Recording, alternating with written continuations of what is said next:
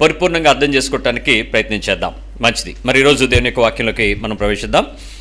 So మనము పద్దెనిమిది ప్రశ్నలు వేసుకున్నాం. పద్దెనిమిది ప్రశ్నల్లో మనకి ఎన్ని సమాధానాలు వచ్చాయో నాకు తెలియదు ఒక్కొక్క ప్రశ్నకు ఒక మార్కే వేసుకోమని చెప్పాను. మరి ఎక్కువైతే ఇబ్బంది అవుద్దని. మరి పద్దెనిమిదికి ఏమన్నా వచ్చినాయా అండి? పద్దెనిమిది మార్కులు ఏమన్నా వచ్చినాయా? మాట్లాడట్లేదు. డౌట్గా ఉంది. అయినా చెప్పడం మానం పంతొమ్మిదో విషయం చెప్తాను. ఈరోజు ఆ ఇరవై అయిపోతే మన ఎగ్జామ్ మార్కులు వచ్చేస్తాయి అల్టిమేట్గా. సో నైన్టీన్త్ క్వశ్చన్ని మనం ఒకసారి నేను ముందు ఒక స్టేట్మెంట్ ఇస్తాను. దాని మీద నేను ధీమాగా నేను ఏ విషయాల్లో చింతించకుండా ఉంటున్నాను అనేటువంటి మాటను కూడా నేను చెప్తాను. దయచేసి దానికి సమాధానం చెప్పడానికి ప్రయత్నించేయండి నా రాజ్యం వేరు యేసుక్రీస్తు లేక దేవుని రాజ్యం వేరు. ఎస్ ఆర్ నో మన రాజ్యం భూ సంబంధమైంది ఆయన రాజ్యం పరసంబంధమైంది. అయితే పరసంబంధమైన రాజ్యాన్ని భూమి మీద స్థాపించడానికి మనకు చూపించి మాదిరిని చూపించడానికి ఆయన ఇక్కడికి వచ్చాడు. సో నా రాజ్యం వేరు ఆయన రాజ్యం వేరు. కాబట్టి సో ఇక్కడి నుంచి స్టార్ట్ అవుతుంది. ఇప్పుడు నేను ఏంటి స్టేట్మెంట్ ఇస్తానో చెప్తాను. ప్రతి సందర్భంలో నేను యేసుక్రీస్తు రాజ్యం శాశ్వతం అని ప్రతి సందర్భంలో యేసుక్రీస్తు యొక్క రాజ్యం పర్మనెంట్ ఎవర్లాస్టింగ్ టెంపరీ కాదు శాశ్వతం అని నేను పూర్తిగా యేసుక్రీస్తులాగా పూర్తిగా అన్ని విషయాల్లో యేసుక్రీస్తులాగా డిటాచ్మెంటు అటాచ్మెంటు కలిగిన జీవితం జీవిస్తాను. డిటాచ్మెంట్ అండ్ అటాచ్మెంట్ యేసుక్రీస్తులాగా యేసుక్రీస్తుని బట్టి. బికాస్ నేను ఈ భూమి మీద జీవించే జీవితం టెంపరీ ఆయనతో ఉండేది పర్మనెంట్ ఆయనది పర్మనెంట్. ఆయన దగ్గరికి నేను వెళ్తాను ఆయనతో సదాకాలం ఉంటాను ఆయన రాజ్యము నా రాజ్యానికి సంబంధించింది కాదు. ఆయన ఆలోచనలు తలంపులకు భూమికి ఆకాశం కొన్నంత ఎడముంది. కాబట్టి దేవుని రాజ్యంలో నేను సదాకాలము శాశ్వత కాలము నిత్యకాలము ఉండబోతున్నాను. కాబట్టి ఆయనకు సంబంధించినంత వరకు నాకు సంబంధించిన రాజ్యములో నేను యేసుక్రీస్తు ఎలా అయితే బతికాడో భూమి మీద ఎలా అయితే బ్రతికాడో is an attachment and detachment అన్నిట్లోనూ ఉన్నాడు. ఏది ఆయన కానట్లుగా బ్రతికాడు? ఆయన అందరితో ఉన్నాడు. అందరు వారు నావారే అన్నాడు. కానీ ఎవరితో కూడా ఆయన సంబంధం లేనంత స్థాయిలో బ్రతికి పరలోకానికి నిత్యత్వానికి ఆయన వెళ్ళాడు. కాబట్టి నేను అలా ఉంటాను. సో ఈ విషయాల్లో నేను మరి కొంచెం ఎక్స్టెన్షన్ మీకు చెప్తాను. దాన్ని బట్టి మీకు అర్థమవుతుంది. దాన్ని బట్టి మీరు చెప్పండి. నేను అందరికీ కావాలి. జాగ్రత్తగా నా పదాలు చిన్న వర్డ్ ప్లే ఉంది. నేను అందరికీ కావాలి. నాకెవరిది వద్దు. నేను అందరికీ కావాలి. ఎవరిది నాకొద్దు ఎవరిది నాకొద్దు ఎవరైనా ఉన్నారు ఇలాంటి వాళ్ళు? నేను అందరి మనసుల్లో ఉండాలి అందరి కుటుంబాల్లో ఉండాలి అందరి ఇళ్ళ దగ్గర అందరికీ అందరికీ నా గురించి అనే చిన్న ఆలోచన. కానీ ఎవరిది నాకొద్దు. ఏది నాకొద్దు ఎవరిది కూడా. పరలోకం కావాలి కానీ ఈ లోక సంబంధమైనది ఏది నాకొద్దు.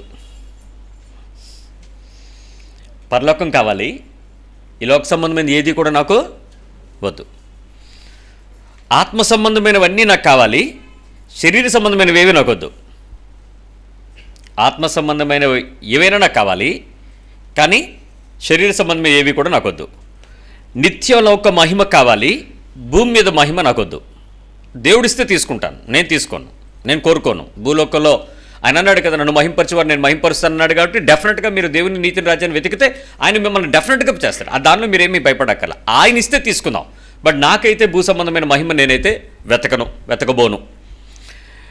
ఇప్పుడు చెప్పి యేసుక్రీస్ యొక్క రూపంలోకి నేను మారడం కోసం నన్ను నేను ఫుల్గా మలుచుకోవటానికి ఇష్టపడుతున్నాను. కాబట్టి ఆయన ఎలా షేప్ చేసినా నాకు బాధ లేదు నాకు చింత లేదు. నా టార్గెట్ అల్టిమేట్ టార్గెట్ ఎక్కడికి? హెవెన్ పరలోకం. ఆయన నిత్యరాజ్యంలోకి నేను వెళ్ళటానికి కోసం నన్ను దేవుడు ఏ రీతిలో మార్చినా మలిచినా మరి దాన్ని రూపాంతరం చెందించినా లేక నన్ను గుణపరిచినా నన్ను గద్దించినా నన్ను హెచ్చరించినా నన్ను నలిపేసినా ఐ డోంట్ వరీ నాకు అసలు చింతలేదు బికాస్ నా అల్టిమేట్ టార్గెట్ ఏది? అక్కడికి. ఒక ఉదాహరణ చెప్తే మీకు ఐడియా వస్తుంది. ఆలోచించండి. చిన్నపిల్లలకి మీరు ఎప్పుడైనా ఏదైనా ఆటలకి తీసుకెళ్ళి ఆడడానికి వాళ్ళని జాయిన్ చేయండి. Just four to five years వరకు వాళ్ళకి ఇంట్రెస్ట్ ఉన్నంత కాసేపు వాళ్ళు దాని గురించి ఆడతారు. ఆ తర్వాత ట్రైనర్ కొంచెం గట్టిగా హార్డ్గా ఇచ్చారనుకోండి శిక్షణ మొదలుపెట్టాడు అనుకోండి శిక్ష ప్లస్ నా శిక్షణ మొదలుపెట్టాడు అనుకోండి వాళ్ళు ఫస్ట్ ఏం చేస్తారు? ఏడిచేసి ముందు మారాన్ చేసి ఎక్కడ కొట్టినా కొట్టించేసుకుని ఆ తర్వాత రెండో రోజు మళ్ళీ ట్రైనింగ్ తీసుకెళ్తానంటే వస్తారా? వెళ్ళావు నువ్వు స్కేటింగ్కి? ఫస్ట్లో దెబ్బలు కొట్టిన తర్వాత పేసి పెట్టేస్తారు. వెళ్ళను వెళ్ళనంటే మరో బాబు నీకు పదివేలు కట్టేవరా నువ్వు రాకపోతే ఎలాగరా? అని ఈడ్చుకుని ఆటోలో ఎక్కించుకుని ఎత్తుకుని వెళ్తాం. ఎందుకు? అటు శిక్షణకు భయపడి నెక్స్ట్ దానికి వాళ్ళు వెళ్ళటానికి ఇష్టపడట్లేదు. కానీ నేనేమనుకుంటున్నానంటే పిల్లల్లాగా ఆ నెక్స్ట్ ఆ సఫరింగ్ని తీసుకొని ఆ ట్రైనింగ్ కంప్లీట్ చేయడానికి వెళ్ళటానికి ఇష్టపడని పిల్లల్లా కాకుండా నాకు ఏమవుతానో నాకు తెలుసు. నెక్స్ట్ అల్టిమేట్గా నేను ఏమవుతానో నాకు తెలుసు. నిత్యత్వంలోకి పరలోకంలోకి ప్రభు దగ్గరికి ప్రభు సంతోషంలోకి నేను పలువగస్తుని అయిపోతా. కాబట్టి భూమి మీద నాకు ఏ రకమైన శిక్షణ ఇచ్చినా ఏ రకమైన నలగగొట్టేసిన నలిచేసేసిన రూపాంతరం చేసేసినా ఇంకేమైనా చేసుకునియండి. నేను హ్యాపీగా ఉంటాను. నేను చింతించను. ఆ- చిన్నపిల్లాడు చిన్నపిల్లోడు ఒక పదకొండు పన్నెండేళ్ళు వరకు నాలుగో సంవత్సరం నుంచి అంటే పదేళ్ళ పాటు సుమారుగా నలగొట్టి పద్నాలుగు అండర్ ఫిఫ్టీన్ అండర్ సిక్స్టీన్లో వాడిని గేమ్స్కి పంపించి వాడు మెడల్ కొట్టిన తర్వాత ఆడికి ఉంటుందండి ఆనందం. ఆ వయసుకి మెచ్యూరిటీ వస్తుంది కదా. అందరూ ప్రజెంటేషన్స్ ఇంటర్వ్యూస్ ఏ టీవీలో కనపడిన వాడే జై హింద్ అని ఆడికేమో నేషనల్ ఫ్లాగ్ కట్టి ఆడికి ఏ ఎక్కడ చూసినా బాబు గారి గురించే చెప్పుకుంటూ ఉంటే అప్పుడు ఒక ఆనందం వచ్చి ఏమనుకుంటాడంటే నాలుగేళ్ళప్పుడు నన్ను మా అమ్మ దుఃఖపెట్టింది కూడా సంతోషమే. ఆ రోజు నన్ను ఆ రకంగా ట్రైనింగ్ ఇచ్చి ఉండకపోయి ఉంటే ఈరోజు నేను ఇప్పుడు ఈ ఇంటర్నేషనల్ మెడల్ లేక నేషనల్ లెవెల్లో ఛాంపియన్షిప్ నేను పొందుకుండేవాడిని కాదేమో అన్న విషయం ఖచ్చితంగా వాడికి అర్థమవుతుంది కానీ మదర్కి తెలుసు. నా కొడుకులో ఉన్నటువంటి ఆ కొద్దిపాటి శక్తిని కం సంపూర్ణంగా ట్రైనప్ చేస్తే సంపూర్ణంగా షేప్అప్ చేస్తే సంపూర్ణంగా మౌల్డ్ చేస్తే దానికి కావాల్సినట్లుగా ఆ మనిషిని షైన్ చేస్తే ఒకరోజు నా కొడుకు ఈ భారతదేశానికో లేక ఈ దేశానికో సంబంధించి ఒక ఛాంపియన్ అవుతాడు అందరికన్నా టాప్ మోస్ట్ అవుతాడు అనే విషయం వాళ్ళ అమ్మగారికి తెలుసు. ప్రతి తల్లికి తెలుసుద్ది. ప్రతి తండ్రికి తెలుసుద్ది డబ్బులు కట్టి పిల్లల్ని తీసుకెళ్ళి ట్రైనప్ చేసేటప్పుడు. కానీ కోచ్కి ఒక్కడికే ఆ మనిషి లోపల ఏముందో తెలుస్తుంది కోచ్ ఇచ్చే పనిష్మెంట్కి పిల్లలందరూ ఏం చేస్తారు?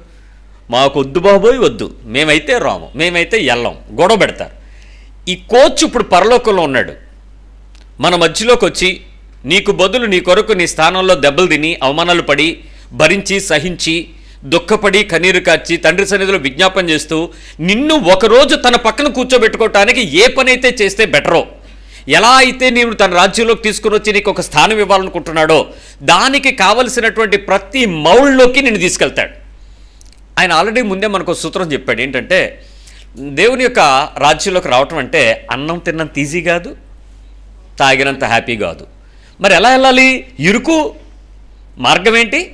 ఇరుకు. ఇరుకులో నుంచి వెళ్తే ఏమవుతుంది? తొక్కలు లేచిపోతుంటాయి. ఓ పక్క ఎముకలు ఇరిగిపోతూ ఉంటాయి. ఎటు చూసినా మనకేం దారి కనపడదు చీకటి కనపడుతూ ఉంటుంది. ఎందుకంటే విశాలంలో వందల మంది వెళ్తుంటారు అక్కడ పెద్ద లైట్ ఉంటుంది. ఇది ఇరుకు మార్గం. నువ్వు వెళ్తూ ఉంటే నిన్ను మెచ్చుకునేవాడు ఎవడు ఉండడు. చాలే ఇలాగే ఎవడకు చెప్పాడు? ఈ పాస్టర్ మరీ మిమ్మల్ని ఎలా నలగొట్టేస్తున్నాడు. భక్తి ఎంత కష్టంగా చేయాలా? అవసరం లేదు. చూడు వాళ్ళు చూడు ఆ పాస్టర్ గారు చూడు ఆ అమ్మగారు చూడు ఆ సంఘం చూడు. మనకు ఎంతసేపు ఆ అవుట్ఫీల్డ్ ఫోకల్ చూపిస్తూ ఉంటారు. కానీ దేవునికి తెలుసు కాబట్టి నేను చింతించనవసరం లేని వ్యక్తి నన్ను ట్రైనప్ చేస్తున్నాడు. నన్ను సిద్ధపరుస్తున్నాడు నన్ను షేప్ చేస్తున్నాడు నన్ను రూపాంతరం చేస్తున్నాడు నన్ను నలగొడతాడు నన్ను ఏమైనా చేస్తాడు నాకు ఇచ్చేటువంటి శిక్షణ కఠోరంగా ఉండొచ్చు అది శారీరకంగా కావచ్చు కుటుంబపరంగా కావచ్చు ఉద్యోగపరంగా కావచ్చు సంఘపరంగా కావచ్చు ఆత్మీయపరంగా కావచ్చు మరి ఏ రకమైన శత్రువుని బట్టి కావచ్చు మిత్రుని బట్టి కావచ్చు. బట్ ఏ పరిస్థితుల్లోనైతే నేను ఆయన కోరుకుంటున్నటువంటి ఆ షేప్లోకి ఆ ఫ్రేమ్లోకి నేను రాగలను అంతవరకు కూడా ఆయన నన్ను చెక్కుకుంటూ నలగొట్టుకుంటూ చెక్కుకుంటూ నలగొట్టుకుంటూ వస్తాడు. కాబట్టి నేను చింతించను. ఇది బాగలేదే? మిగిలినన్ని బాగానే ఉన్నాయి. కాబట్టి నేను చింతించను. ఆమెను అనరైపోనే? సంతోషంగా ఆమెను రాదు. మరి ఎలా? ఎలా? ఎలాగో చెప్పనా? మీరందరూ సంతోషించే మార్గం అంటే ఈ రాత్రి నీకు ఇచ్చేస్తున్నాడు దేవుడు. తీసేసుకో. పొందేసుకో. వచ్చేస్తున్నాయి తీసేసుకో దీవెనలు టన్నులు టన్నులు వచ్చేస్తున్నాయి. లారీలు లారీలు ఆశీర్వాదాలు వచ్చేస్తున్నాయి. ఈ రాత్రి నీకు ఇంకా కావాలనుకుంటే నీ క్రెడిట్ కార్డు పిన్ కార్డు నాకు ఇచ్చి వెళ్ళిపో. తెల్లరేపటికి నీ దగ్గరికి ఎన్ని ఆశీర్వాదాలు వచ్చేస్తాయి చూసుకో లారీలు లారీలు వ్యాన్లు వ్యాన్లు వ్యాగన్లు వ్యాగన్లు. ఈ అబద్ధాలకు కూడా ఆనందించేటువంటి వ్యక్తులు చాలామంది సాక్ష్యాలు చెప్తున్నారు ఈ రోజుల్లో. యేసు ప్రభు ఎక్కడ చెప్పని విషయాలు వీళ్ళు ఎందుకు ఇలా మాట్లాడుతున్నారో నాకైతే అర్థం కాలేదు కానీ మరి ఇలా నలగొట్టేటప్పుడు నొప్పి పెడుతునేటప్పుడు రాపిడి చేస్తునేటప్పుడు ఇరుకులో తోస్తున్నప్పుడు పిండుతున్నప్పుడు మరి కూర్చోబెట్టి మనిషిని కొదేసి బాగా దంచుతున్నప్పుడు రకరకాల పరిస్థితుల్లో మనిషిని ఏ రకంగా కావాలో ఆ రకంగా దాన్ని అలాగా చేస్తుంటే ఎంతమంది చింతించకుండా ప్రభుని హల్లెల్లుయ స్థుతి మహిమా అని పాడతారు? పాడరే? ఎవరు పాడడానికి మనసు ఉండదే? నాకే ఎందుకు ఇలా నన్నే నా జీవితం పట్లే దేవుడికి ఇంత కింద కోపం? నాకే నేనేం చేశాను? నేను భక్తి చేయట్లేదా? నేను ప్రార్థన చేయట్లేదా? నేను మందిరానికి రావట్లేదా? నేను కానుకలు ఇవ్వట్లేదా? నేను వాక్యం చదవట్లేదా? నేను సువార్త చెప్పట్లేదా? నన్నే ఎందుకు దేవుడు ఇలాగ పరీక్షిస్తున్నాడు? నా ఇంట్లోనే ఎందుకు ఈ శ్రమ? నా తల్లిదండ్రులకే ఎందుకు ఇలా జరుగుతుంది? నేను నేను- నేను హ్యాపీగా నన్ను ఎందుకు ఉంచట్లేదు యేసుప్రభు? నేను భక్తి చేయట్లేదా? ఎన్ని సమస్యలో?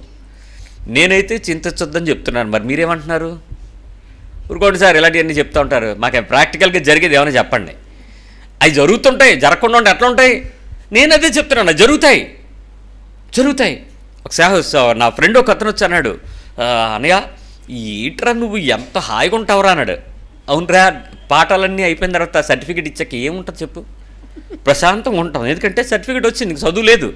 పిల్లలకి చదువు అంటే చాలా కష్టం కదా. ఏది చదువుతాము మా డాడీయే బెటర్ చదివేం లేదు. హాయిగా తిరుగుతాడు బండి మీద హాయిగా తిరుగుతాడు కారు మీద. మా అమ్మ అలాగెళ్తుంది సీఎంఆర్కి అలా కొనుక్కొని వస్తుంటుంది. నన్ను మాతో స్కూల్ తోసేద్ది. వీళ్ళకి ఎంతసేపు? ఏటి టైము ఏటి పనిష్మెంట్? ఈ ఆన్లైన్ స్కూల్ ఏంటి? మళ్ళీ ఇదో కొత్త రకంగా. ఒక పూట స్కూల్ అంటే హాయిగా ఉంటుంది రెండో రోజు కూర్చోబెట్టి ఆఫ్లైన్ అంటున్నారు. ఏంటి బాధ? కానీ ఆ కోర్స్ కంప్లీట్ అయిపోయిన తర్వాత నీకు ఆ టోపీ పెట్టి ఆ మెడల్ వేసి అవి ఏమి ఉండవు కానీ నువ్వు కోరుకోవు అసలు. అవన్నీ నీకు ఆశ ఏది? ఆ ఫెలిస్టేషన్ కాదు. ఏమంటారు దాన్ని? కాన్వికేషన్ ఏమి ఉండదు. కాకపోయినా నీ హృదయంలో ఒక సంతోషం ఉంటుంది. ప్రభువా ఈ లెవెల్కి వదిలేసావు నెక్స్ట్ లెవెల్ ఎప్పుడు పెడతావు అని ఉంటుంది. మీరేమనుకుంటున్నారు? కోర్స్ కంప్లీషన్ అనుకుంటున్నారా? లెవెల్ వన్ అవుతుంది. లేదా లెవెల్ టూ అవుతుంది అంతే. ఇంకా there is so many levels up to the Jesus level Yesu level వరకు తీసుకెళ్ళాలంటే మరి మనం రెడీగా ఉండాలి. చింతించుకున్నాను చెప్పండి మీ పక్క వాళ్ళకి. చింతించకండి. లెవెల్స్ ఉంటాయి. సీరియస్గా వెళ్ళిపోవడమే ఏ రకంగా రిలాక్సేషన్ అవ్వడానికి అవ్వదు. వదిలేయడానికి అవ్వదు. ఆనందించడానికి అసలు ఉండదు. చింతించకుండా ఉండడమే. ఒప్పుకోదు మనసే. ఇదే వేసి ప్రభు అండి. ఇలాంటివి చెప్తారు మాకు. ఇప్పటికేమో వడ్డీ కట్టే దిక్కులేదు రెండు నెలల నుంచి. అటు నుంచి ఇటు నుంచి చూస్తుంటే ఫుల్ వాయింపు అయిపోతుంది. చింతించద్దా? ఎలా చింతించకుండా ఉండమంటారు? బైబిల్ చెప్తుంది చింతించద్దని చెప్తుంది. నేను మీకు కొన్ని విషయం ఈరోజు ఒక విషయాన్ని చెప్తాను. కొంచెం శ్రద్ధగా ఆలోచించండి. కొలసి పత్రిక మూడో అధ్యాయము రెండో వచనం చెప్తుంది. కొలసి పత్రిక Colossians chapter three verse two. పైనున్న వాటి మీదనే గాని. భూ సంబంధమైన వాటి మీద పై వచనం చదువునా మీరు క్రీస్తు కూడా లేపబడిన వారైతే లేపబడిన వారైతే. పైనున్న వాటినే వెదకుడి. ఒక్క నిమిషం. లేపబడ్డారా లేదని అడగండి మీ పక్క వాళ్ళని. అంటే బాప్తిజం తీసుకున్నారా లేదా? బాప్తిజం తీసుకుంటాం అర్థం ఏంటి? క్రీస్తు యొక్క మరణములోనికి మీరు పాలబగ్గస్తులయ్యారు ఆ తర్వాత మీరు లేపబడ్డారంటే ఏంటి? బతుకున్నామంటే అర్థం ఏంటి? వీఆర్ ఆల్రెడీ తిరిగి లేచిన పునరుద్ధానుడైనటువంటి క్రీస్తు యొక్క అనుభవం మనం కలిగి ఉన్నాం. అంటే మరణించి తిరిగి లేచిపోయాం. So we got the victory over death భౌతికమైన శరీర సంబంధమైన పాప నియమం కలిగిన శరీరము యొక్క మరణం నుంచి ఆత్మ సంబంధమైన పునరుద్ధానంలోకి మనందరం వచ్చేసాం. క్రీస్తు కూడా లేపబడిన వారం అయితే అయితే ఏం వెతకాలి ఇప్పుడు? ఏంటి పైన ఉన్నాయి ఆ, పైనున్న వాటినే వెతకండి. అక్కడ క్రీస్తు. దేవుని కుడి పార్శ్వమున కూర్చుండి ఉన్నాడు. ఓకే. పైనున్న వాటి మీదనే గాని. భూ సంబంధమైన వాటి మీద మనస్సు పెట్టుకొనకుడి. ఏమున్నాయి పైన? పైనున్న వాటి మీద మనసు పెట్టుకోండి అంట. కింద మీద పెట్టద్దు అంటున్నాడు. ఇంతకీ మీరు ఒక్కసారి పైకి ఇలా చూడండి మీకు రూఫ్ కనపడింది. బయటికి వెళ్ళి చూస్తే ఏం కనపడద్ది? ఆకాశం కనపడద్ది. ఇప్పుడు పైన ఏముందంటే అక్కడ క్రీస్తు సింహాసనం మీద కూర్చుని ఉన్నాడని చెప్పాడు. అంటే ఇప్పుడు మీరు ఏం వెతకాలి పైన? యేసుక్రీస్తు కూర్చుని ఉన్నటువంటి ఆ పరలోకపు సింహాసనాన్ని వెతకాలి. ఆ సింహాసనం మీద కాసీనుడైనటువంటి ఆ ప్రభువు భూమి మీదకి వచ్చి మన మధ్యలో తిరిగి మనతో నడిచి మనతో తిరిగి మనతో తిండి తిని మన మధ్యలో మాట్లాడి మనకు మార్గాన్ని చూపి మనకు దిశానిర్దేశం చేసి ఇదిగో ఇలా చెయ్యాలి ఇలా ఉండాలని చూపించి ఆయన అలా వెళ్ళాడంతే. అలా వస్తాడు అక్కడ నుంచి. ఎక్కడున్నాడు? పలానా దగ్గర ఉన్నాడు ఇప్పుడు ఎలా చెప్పుకుంటాం ఒకసారి ఆలోచించండి. లాస్ట్ వీక్ మీరు పేపర్లో చూస్తుంటారు మన ఆనరబుల్ వైస్ ప్రెసిడెంట్ వెంకయ్యనాయుడు గారు విశాఖపట్నం వచ్చారు. వచ్చినప్పుడు అప్పటి వరకు ఇదే బీచ్లో తిరిగాడు ఆయన ఒత్తప్పుడు. ఇది వైస్ ప్రెసిడెంట్ గారు అవ్వకమన్నప్పుడు ఇదే వై దీని మీద బీజేపీకి ఆయన ఈ ఉండేటప్పుడు బీచ్ రోడ్లో వాకింగ్ చేసేవాడు రెగ్యులర్గా మన వీధుల్లో తిరిగేవాడు రెగ్యులర్గా అందరినీ పలకరించేవారు అంత బాగుంది కానీ ఇప్పుడు ఒక్కసారిగా ఆయన వైస్ ప్రెసిడెంట్ అయ్యేటప్పటికి ఆయన దగ్గరికి ఎవడైనా వెళ్ళగలమా? చాలా ప్రోటోకాల్ అయిపోయింది. ఎక్కడికి ఎవరిని రావడానికి అవకాశం లేని పరిస్థితి అయిపోయింది. ఆయన దగ్గరికి వెళ్ళాలంటే చాలా పెద్ద protocol. At the same time మనకి అందరూ మాట్లాడుకునేటప్పుడు అప్పుడు మనకి ఎలా ఉంటుంది? అది ఎలా ఉంటుందో సింపుల్ ఎగ్జాంపుల్ చెప్తాను. ఇదిగోండి ఇక్కడ కూర్చుని మీ అందరిలో కూడా. ఓకే అది అక్కడ విహాస్ బాబు గారు కూర్చున్నారు. నన్ను ఎలా చెయ్యూపు విహాస్ బాబు గారు అక్కడ ఉన్నారు. సడన్గా ఈ విహాస్ బాబు గారు మన కలెక్టర్ అయిపోయాడు అనుకోండి. మన డిస్ట్రిక్ట్ కలెక్టర్ గారు అయిపోయారు అనుకోండి. అప్పుడు మీరు ఏమంటారు సార్ అని బయట మాట్లాడినా? మీరేమంటారు చెప్పండి. మనోడేరా? మన పక్కన కూర్చున్నాడు కదరా? మన విహాసేరా బాబు. అరే మీకు తెలీదా? నీకెందుకు నేను చెప్తాను మాట్లాడతాను రా మనోడే. ఇప్పుడు యేసు మనోడే. మన జ్యేష్ఠుడే మన పెద్దన్నయ్యే మన కుటుంబీకుడే మన ముందు వచ్చిన వాడే మనతో నడిచిన వాడే మనతో తిరిగిన వాడే మన మధ్య బ్రతికిన సమాధానం కర్తే మన మధ్యలో ఉన్నటువంటి మనుష్య కుమారుడుగా బ్రతికి సశరీరుడుగా ప్రత్యక్షమైన మనవాడే ఎక్కడున్నాడు ఇప్పుడు? తండ్రి కుడి పార్శ్వం మీద పరలోకలాసీనుడై ఉన్నాడు. అక్కడ చూడు ఇప్పుడు. ఎంతసేపు భూమి మీద ఏ పొజిషన్లో ఉన్నాడో? ఏ స్థితిలో ఉన్నాడో? మీరు ఎవరిని చూపిస్తారు? ఎవరికైనా మీ పిల్లలకి చెప్పండి. సత్య ఆదళ్ళ. ఆయన ఎవరని అడుగుతారు? కొమ్మతీసి సుందర్ పిచ్చియ్య. అదే పిచ్చాయి. ఎవరు? Google CEO. ఇప్పుడు మీరు నెక్స్ట్ మీ పిల్లలకి ఏం చెప్తారు? అమెరికా వెళ్ళిపోయి? ఎలాగైనా గూగుల్లో పోస్ట్ కొట్టేయాలి భయ్యా. లేక సీఈఓ అయిపోవాలి భయ్యా. ప్రెసిడెంట్ ఆఫ్ అమెరికా అయిపోవాలి భయ్యా. గవర్నర్ ఆఫ్ యూకే అయిపోవాలి భయ్యా. నీ పిల్లలకి ఏదో ఒకటి చేశారు. భూ సంబంధమైన వాటి మీకు పెట్టారు. అరే యేసు ప్రభు పక్కన కూర్చోవాలరా నువ్వు. ఏ కొడుక్కైనా తల్లి చెప్పింది ఇది? ఏ కూతురికైనా తండ్రి తల్లి చెప్పారు అసలు? ప్రభు పక్కన కూర్చోవాలరా మనం. మన సీట్ అక్కడరా. జబదయ్ కుమారుల తల్లికి ఉంది ఆ స్వార్థం. మనకు ఉండాలదే ప్రభా నీ రాజ్యం వస్తుంది కదా. కొంచెం లెఫ్ట్ ఒకటి రైట్ ఒకటి రెండు సీట్లు పెట్టండి. ఎంత తెలివైందండి అదే? అయ్యమ్మా ఎంత దూరం ఆలోచించింది ప్రభుని దగ్గర? కానీ ప్రభు తెలివైనడు కాబట్టి కొంచెం అలా అలా మడత పెట్టాడు అనుకోండి. కానీ మన సంగతి ఏంటి? మనకు అసలు అలాంటి ఆశ ఉంది అసలు? అలాంటి ఆలో అరే బతికితే యేసుప్రభులో బతకాలరా. జీవిస్తే యేసుప్రభులో జీవించాలరా. బోధిస్తే యేసుప్రభులో బతక బోధించాలరా. ఆయన చేసినట్లుగా మనం చేయాలరా. ఆయన ఎలా ఉన్నాడు అలా ఉండాలరా. ఎప్పుడైనా మనం పరలోకి వెళ్ళాలి. ఎక్కడైనా కూర్చుంటే మనం ఆయన పక్కన కూర్చోవాలంతే. అది మన దృష్టి పైన వాటి మీద దృష్టి. ఏ స్కూలు చెప్పదండి? Bible college. ఏ బైబిల్ కాలేజీ చెప్పదు ఇది మీరు చదివే ఏ పుస్తకాల్లోనూ ఉండదు. ఒక్క బైబిల్లో మీ కళ్ళు కనపడితే తప్ప. ఇక్కడ పైన వాటిని వెతుక్కోమని చెప్పాడు. భూమి మీద కాదు. మీ పిల్లలకి మంచి కాలేజ్ సీట్ ఎతుకుతున్నారు కదా. మంచి యూనివర్సిటీలో సీట్ కావాలి కదా. మంచి ప్రదేశానికి వెళ్ళటానికి మంచి ట్రావెల్ ఏజెన్సీ కావాలి కదా. మంచి మంచి మంచి మంచి పరలోకం వద్దా? పైన వాటి కొరకు వెతకరా? ఆశ మీకు లేదా? ఆ ఆ ఆశ కలిగించడం ఎలా? ఏ తల్లికి తెలియట్లేదు ఈరోజు. ఎందుకంటే దాని దృష్టి భూమి మీద ఉంది. పైకి వెళ్తే కదా కింద కనపడడానికి. ఏ తండ్రి అయితే పైవాటిని చూడగలుగుతాడో తన బిడ్డకు ఆ పైవాటి గురించినటువంటి దర్శనం నేర్పిస్తాడు. అందుకే డాక్టర్ పిల్లలు ఏమవుతారు? లాయర్ పిల్లలు ఏమవుతారు? వాళ్ళు దాని దిశలో ఒక ఎండింగ్కి వెళ్ళిపోతారు. దాని ద్వారా ఒక పేరు ఒక ఘనత ఒక మర్యాద ఒక డబ్బు ఒక పరపతి అవన్నీ సంపాదించుకున్న తర్వాత ఆ లైన్లో పిల్లల్ని తీసుకురావడం ఈజీ ఒక స్పిరిచువల్గా ఒక తండ్రి ఒక తల్లి ఆత్మ సంబంధమైన వ్యక్తిగా మారితే ఆ వ్యక్తి ఖచ్చితంగా తన కుటుంబాన్ని ఆత్మ సంబంధమైన మార్గంలోకి తీసుకెళ్తాడు. ఇంకే రకమైనటువంటి దిశ ఉండదు. ఆ దరిద్రమైనటువంటి సేవకులు నేడు భూ సంబంధమైన ఆశీర్వాదాలు మీ నెత్తి మీద పెడుతున్నామని చెప్పడం వల్ల మీరు కూడా భూ సంబంధమైన వాటి మీద తిరుగుతున్నారు. వాక్యమేమో పై ఉన్న వాటిని వెతకమంటుంది. మీరేమో భూమి మీద ఉన్న వాటిని వెతుకుతానంటున్నారు. కుదరదని చెప్తుంది బైబిల్. భూ సంబంధమైన వాటి మీద మనస్సు పెట్టుకోకండి. మీ పక్క వాళ్ళు చెప్పండి మనసు పెట్టకండి అని. ఏం వదిలేయచ్చు? అడగండి సార్. ఏది వదిలేయచ్చు? మనసు పెట్టద్దంటే ఏది వదిలేయచ్చు? ఏది వదలలేం మా మా పార్వతీపురం బా ఏటు ఒగ్గేస్తాము ఏటు ఒక్కనేం ఏడు ఒక్కనేమంటారు. అంటే ఒక్కలేమంటే వదలలేము. ఏటు వదిలేద్దాం అంటారండి మీరు? భూ సంబంధమైన వాటి ఫిలిప్పి పత్రిక మూడో అధ్యాయం పంతొమ్మిదో వచ్చిన ఏం చెప్తుందో తెలుసా? ఫిలిపి పౌలు అసలు ఆ ఫిలిపియన్స్కి కొలషియన్స్కి రాసిన ఆ ఆశ్చర్యకరమైన విషయాలు నేటి సంఘస్థులకు బోధించదగినవి కావనుకుంటున్నారేమో పాస్టర్లు. చెప్పట్లేదు ఎవరునో? చదువునా మూడు పంతొమ్మిది. నాశనమే వారి అంతము. ఆ. వాడి వారి కడుపే వారి దేవుడు. వారు తాము సిగ్గుపడవలసిన సంగతుల. యందు. అది అక్కడ సెమికోలన్ ఉంటుంది. అంటే అక్కడ బ్రేక్ చేసి నెక్స్ట్ వర్డ్ స్టార్ట్ అవుతున్నట్టు అర్థం. కాకపోతే ఫుల్ స్టాప్ ఇవ్వలేదు. కానీ కంటిన్యూషన్ వర్స్ ఏంటంటే వారు సిగ్గుపడవలసిన సంగతుల యందు. అతిశయపడుచున్నారు. ఒక సాక్షి విన్నాను నేను ఒక సంఘంలో.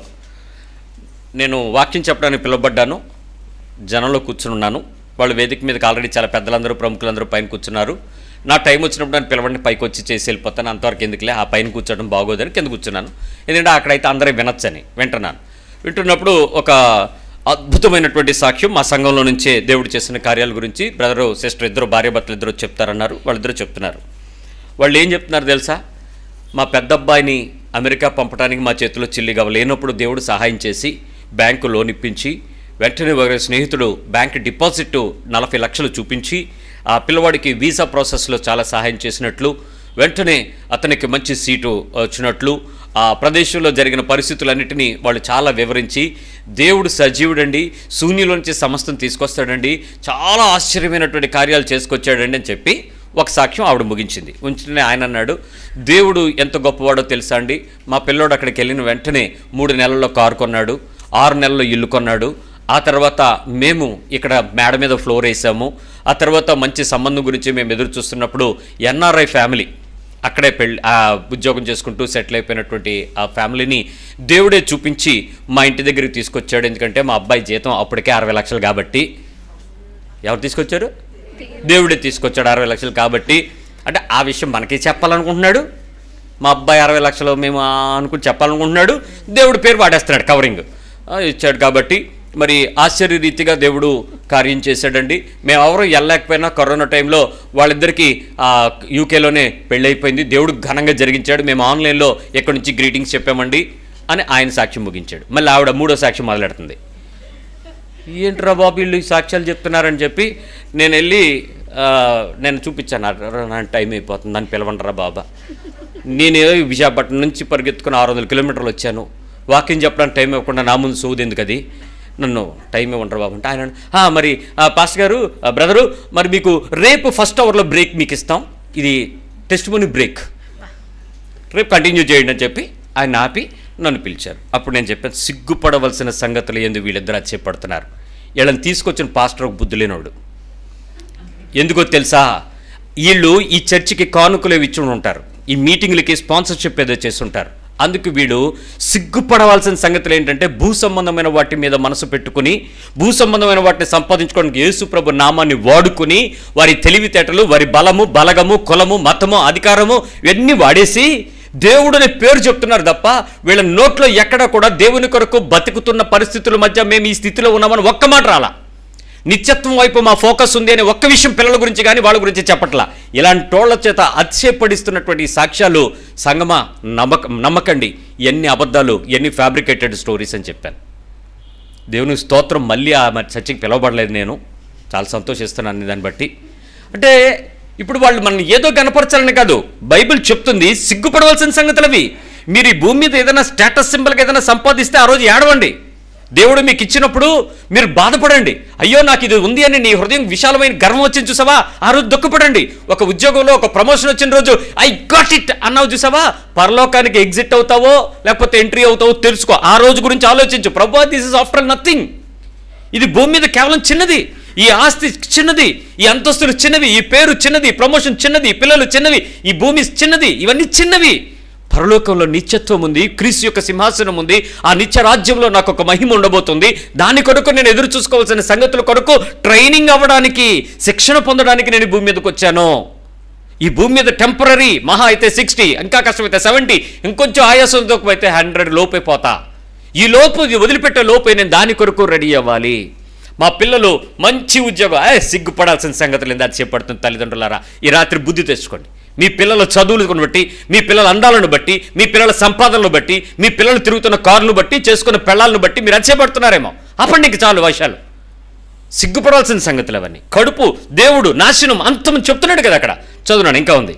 భూ సంబంధమైన వాటి అందే మనస్సు నుంచున్నారు. ఇక్కడ ఎన్ని సాక్ష్యాలు వింటారు? అన్ని భూ సంబంధమైన సాక్ష్యాలే. కాదంటారా? ఏది చెప్పని వాడు నోరిప్పితే భూమి. మరి నిత్యత్వం గురించి ఏం మాట్లాడాలి? యేసు ప్రభు వారు మనకు చూపించాడండి చెప్పాడండి చేశాడండి. దాని ముందు అతిశయం ఉంది. దాని కొరకు మనం ఆనందించాల్సిన సమయం ఉంది. యోహాన్ భక్తుడు దాన్ని గుర్తుపట్టి మూడో అధ్యాయంలో యోహన్ సువార్త మూడో అధ్యాయంలో ముప్పై ఒకటో వచ్చిన దగ్గర నుంచి చెప్తాడు కొన్ని విషయాలు మీరు అర్థం చేసుకోవడానికి ప్రయత్నించేయండి. John three verse thirty one. పైనుండి వచ్చేవాడు. అందరికీ పైనున్నవాడు. జాగ్రత్తగా వినండమ్మా ఈ వచనాన్ని మనం చాలాసార్లు పట్టించుకోకుండా వెళ్ళిపోతుంటాం కానీ దానిలోనే అసలైన క్రీస్తుని నువ్వు చింతించని క్రీస్తు నువ్వు పట్టుకున్నావు లేదో నీకు తెలిపోద్ది. పైనుంచి వచ్చేవాడంట. అందరికీ పైనున్నవాడు. ఇక్కడ కొందరు లేదు. అందరికీ. అందరికీ పైన ఉన్నవాడు ఓకే? భూమి నుండి వచ్చేవాడు. భూ సంబంధి అయి భూ సంబంధమైన సంగతులను గూర్చి మాట్లాడును. ఇక్కడ ఇద్దరు. ఒకటి పైనుంచి రావడం రెండు కింద నుంచి రావడం. ఓకే? పైనుంచి వచ్చేవాడు పైన ఉన్నవాడు అందరికీ పైన ఉన్నవాడు అన్నీ తెలిసినవాడు అక్కడ విషయాలు చెప్తాడు. ఈ కింద నుంచి వచ్చినవాడు ఎక్కడికి చెప్తాడు? భూమికి సంబంధించిన విషయాలు చెప్తాడు. ఎవరు ఈ ఇద్దరు? అక్కడే ఉంటుంది ఆ విషయాన్ని. ఇంకా పరలోకము నుండి వచ్చేవాడు. అందరికీ పైగా నుండి ఆగండి. పరలోకం నుంచి వచ్చేవాడు అందరికీ పైగా ఉండి తాను కన్న వాటిని గూర్చియు. అక్కడ ఏవైతే చూశాడో వాటికి విన్న వాటిని ఏం విన్నాడో వాటిని సాక్ష్యమిచ్చును. అవి సాక్ష్యం ఇస్తాడు ఎక్కడి నుంచి? పైనుంచి వచ్చినవాడు. ఎక్కడి నుంచి? దే యేసుప్రభు వారు ఏం చెప్పాడు మీకు గుర్తుందా? నేనేమి చూస్తున్నాను అవే చెప్తున్నాను. ఏం వింటున్నాను అవే చెప్తున్నాను. ఆయన నాతో ఏం మాట్లాడాడు అవే చెప్తున్నాను అన్నాడా లేదా? ఏ యోహాన్ ఏమైనా చెప్పాడా? నాకు దేవుడు ఇలా చెప్పమన్నాడని కానీ నేను చూశాను కానీ అని చెప్పాడా? యోహాన్ ఎక్కడి నుంచి వచ్చాడు? తల్లి గర్భములో నుంచి తల్లిదండ్రుల కలయికలో నుంచి జకరియా ఎలిజబెత్ గర్భంలో నుంచి బయటకు వచ్చాడు. బయటకు వచ్చినటువంటి వ్యక్తి భూ సంబంధమైన వ్యక్తి భూమి గురించి మాట్లాడతాడు. పైనుంచి వచ్చిన వ్యక్తి ఆత్మ ద్వారా పుట్టిన వ్యక్తి. ఆత్మ సంబంధి అయిన వ్యక్తి. ఆత్మ ద్వారా శరీరంలో నుంచి బయటకు రూపాన్ని పెట్టుకుని వచ్చిన వ్యక్తి. ఎవరైనా? యేసుక్రీస్తు. మరి ఆయన ఏం మాట్లాడతాడు? ఆత్మ సంగతులు పరసంగతులు ప్రభు సంగతులు పరలోకం నుంచి మాట్లాడతాడు. వాళ్ళిద్దరూ మాట్లాడినటువంటి సంగతుల్లో ఒకసారి తేడా ఏంటో చెప్తాను చూడండి. నాన్న ఇంకా ముప్పై నాలుగో వచ్చిన కంటిన్యూ చేసుకొచ్చేసాయి. ఆయన సాక్ష్యం ఎవడునూ అంగీకరింపడు. ఎందుకు? అక్కడికి ఎవడు రాలేదుగా? అక్కడికి ఎవడు వెళ్ళలేదుగా. అది ఎవడో చూడలేదుగా అందుకు ఆయన ఏం చెప్పినా నమ్మట్లా. ఎక్కడి నుంచి? పైనుంచి వచ్చిన వ్యక్తి.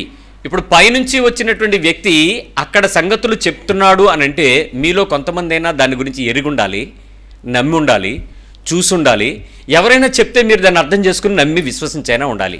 ఎవరు వెళ్ళలేదుగా? ఎవరు చూడలేదుగా? అందుకు ఆయన సాక్షి ఎవడో నమ్మట్లా. యేసుప్రభు వారు వచ్చి మాట్లాడుతున్నాడు సాక్షాత్తు ప్రజల మధ్యలో. అరే బాబు నేను ఏం చూసాను అయ్యే చెప్తున్నాను రా ఏం విన్నాను అయ్యే మాట్లాడుతున్నాను రా ఏం చెప్పమన్నాడు అయ్యే చెప్తున్నాను రా నాకేం భూ సంబంధించిన సంబంధించిన కావు. అన్ని పరలోకంవి నేను చెప్తున్న బోధంతా పరలోకంది కానీ ఆయన సాక్ష్యం అంట? ఎవరో. ఇప్పుడు ఇక్కడ కూర్చుని మీలో ఎవరైనా ఒక వ్యక్తి ఇప్పుడు రోజు మీరు చూస్తున్నటువంటి వ్యక్తి సడన్గా మీ మధ్యలోకి వచ్చి నిన్నే నేను అంగారగ్రహం మీదకి వెళ్ళొచ్చాను అన్నాడు అనుకో మీకు ఎలాగనిపిస్తుంది ఏలియన్స్ మీలాగా ఉండరు అంటారు. ఏలియన్స్ ఉన్నారనేది ఒక ఫ్యాబ్ స్టోరీ కదా. ఉన్నారు గ్రహాంతరవాసులు ఉన్నారని చెప్తున్నారు కదా. సినిమాలు తెగ చూసేస్తున్నాం కదా. ఈ అలా నువ్వు మామూలుడివే కదా. ప్యాంటు షర్ట్ వేసుకున్నావు అన్నం తింటున్నావు గాలి పీలుస్తున్నావు ఆ, నీకు గెలితే చూద్దామండి టైం ప్లీజ్ అండి ఆడా అన్న అయితే నువ్వు మాలటోడివే నువ్వు గ్రహాంతరవాసి ఎట్లయ్యావు నమ్మం కదా? ఒప్పుకోలేం కదా? అందుకు ఆ సాక్ష్యం నమ్మలేం. యేసు ప్రభు అక్కడి నుంచి వచ్చానరా అంటే ఊరుకవే నువ్వు మా మధ్యలో పుట్టావు. మీకు ఆ నాన్న ఎవడో తెలియదు నీకు. అని నీ గురించి నువ్వు మా నువ్వు ఆ కార్పెంటర్ కొడుకు కాదేటి? మా మధ్యలో వీధిలో తిరగలేదేంటి? మీ అన్నదమ్ములు అక్కడ కనపట్లేదేంటి నువ్వేదో పెద్ద గొప్పడు చెప్తున్నావేంటి? నమ్మటం లేదంట అయితే? ఆయన సాక్ష్యం అంగీకరించిన వాడు. దేవుడు సత్యవంతుడన్న మాటకు యేసు ప్రభు అనేటువంటి పరసంబంధమైన వ్యక్తి యొక్క సాక్ష్యాన్ని ఎవడు ఒప్పుకుంటాడో వాడు పరసంబంధమైన సాక్ష్యానికి అంగీకరిస్తున్నాడంట. ఆ, ఏమని? సత్యవంతుడన్న మాటకు ముద్ర వేసి దేవుని కుమారుడు సత్యవంతుడు అనేటువంటి మిషన్ మీరు ఒప్పుకుని ముద్ర వేస్తున్నారట. ఏలయనగా.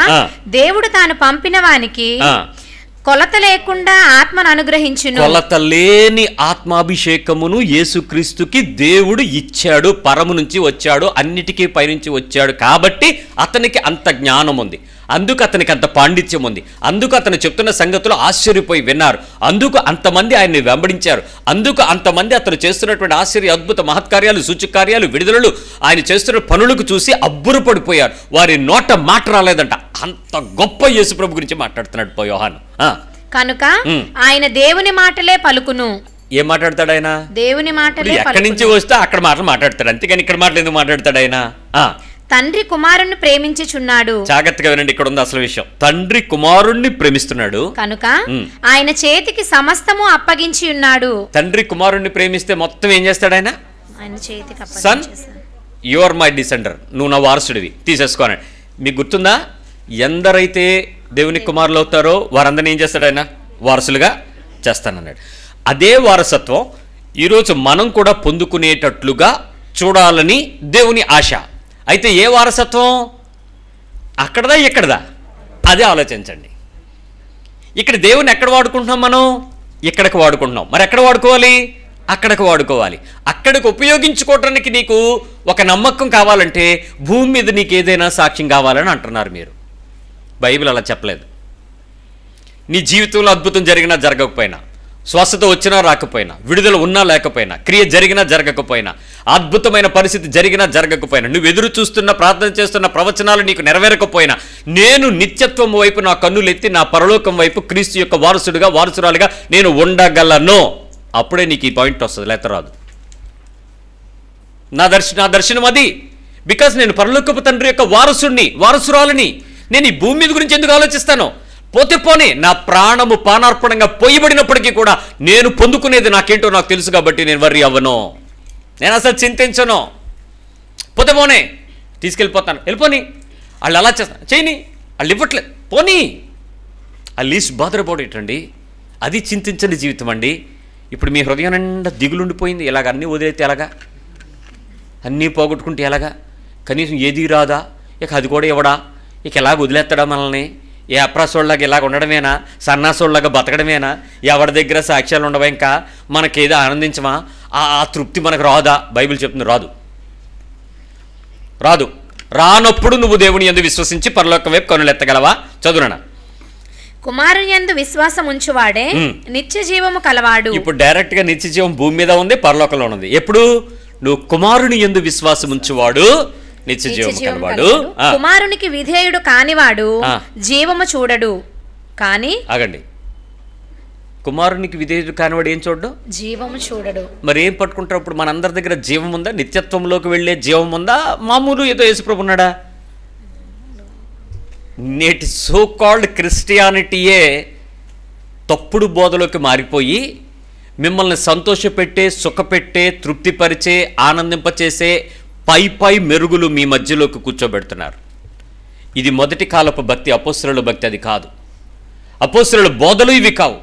క్రైస్తవ్యం అంటేనే కల్తీ చేసి దీవెనల వైపు తీసుకొచ్చి ఆశీర్వాదాలు తీసుకొచ్చి అయ్యగారు ప్రార్థన చేయగా అమ్మగారు ప్రార్థన చేయగా అయ్యగారు డబ్బులు ఇవ్వగా అయ్యగారు టీవీ ప్రోగ్రామ్కి ఇస్తే అయ్యగారు చర్చికి గుమ్మంకి ఎత్తితే అయ్యగారు కింద టైల్కి ఐదు వేలు పంపితే టీవీ కార్యక్రమం ఏంటి సాక్ష్యాలు?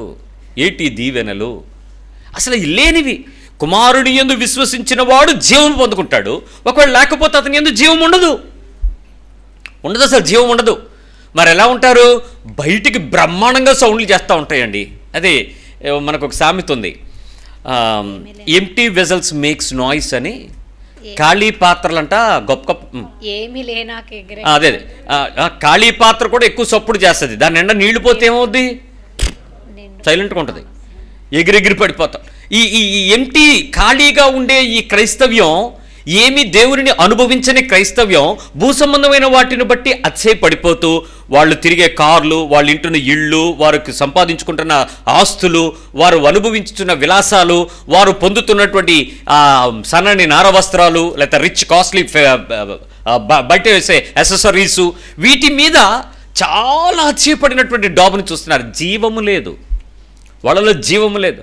వాళ్ళని పిలిచి యేసుతో మీకు ఒక అనుభవం చెప్పండి అని అంటే ఎవరితో? అని అడుగుతాడు. యేసుతో ఎవరికి అనుభవం ఉండదు. నేటి బోధకుల్లో చాలా మందికి ఉండదు ఆ అనుభవం. చదువునాడా కానీ కానీ దేవుని ఉగ్రత వాని మీద నిలిచియుండును ఏంటి? జీవం లేకపోతే ఏముంటుంది?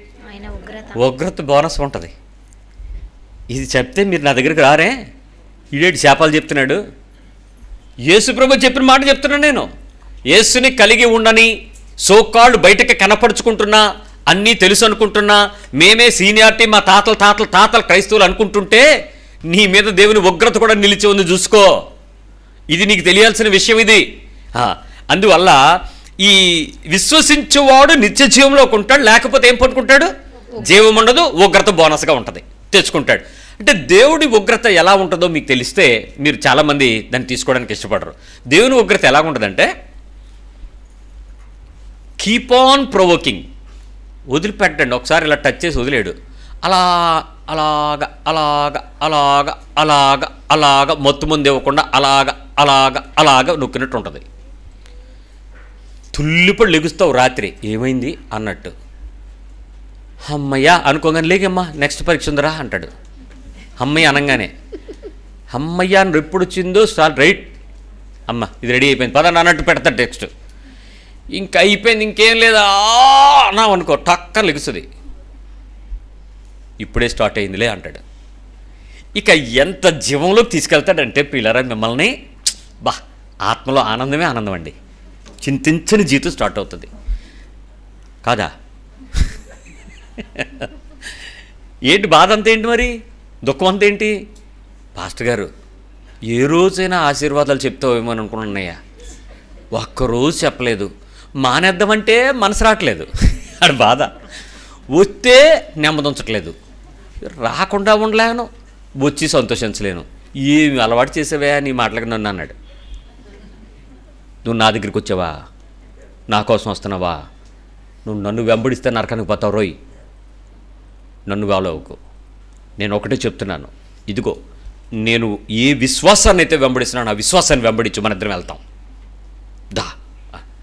ఆ విశ్వాసానికి కర్త అయిన క్రీస్తుని చూచే వ్యక్తి వైపు నువ్వు చూడగలిగితే నువ్వు కనులెత్తగలిగితే నీకే రోజు నీకు వలిసిపోవు నేను చెప్తున్నటువంటి ఆ పిండుతున్న మెత్తని తనం ఆనందిస్తావు. ఆ క్రష్లో నూనె వస్తూ ఉంటుంది నీ లోపల నుంచి. అది తృప్తి పొంది గానుగులో నుంచి తీయబడినటువంటి ఆచ్చ నూనె ఆ ఒలివకాయల నూనె దేవుని సముఖంలో ప్రదీపము నిత్యము వెలుచు ఉండడానికి వాడతాడు దేవుడు. అదండి దేవుని కృప అంటే. నీ జీవితం దేవునికి ఆనందమయం. నువ్వంటే ఆయనకు సంతోషం. నీతో పాటు ఆయన ఆనందిస్తూ ఉంటాడు. అతను నలుగొట్టుబడట తండ్రికి అభీష్టమాయనో ఉంది. తండ్రికి ఇష్టం అందుకు యేసుప్రభు అన్నిటికీ రెడీ అయ్యాడు. యూ షుడ్ ఫేస్ ఇట్ అసలు విషయంకి వచ్చేస్తే మీరు బాధపడతారు. అయినా చెప్తాను వినండి. బాప్తిస్మిత్ యోహాన్ చెప్పిన విషయం ఏంటి? యేసుప్రభు చెప్పిన విషయం ఏంటో చెప్తాను. మీకు తేడా వచ్చేస్తుంది. బాప్తిస్మిత్ యోహాన్ చెప్పిన విషయం చెప్తాను తిరండి యోహాన్ సో లూకస్ వార్త మూడో అధ్యాయంకి రండి. Luke three verse eleven ten నుంచి టెన్ నుంచి కూడా చూడొచ్చు. అందుకు జనులు.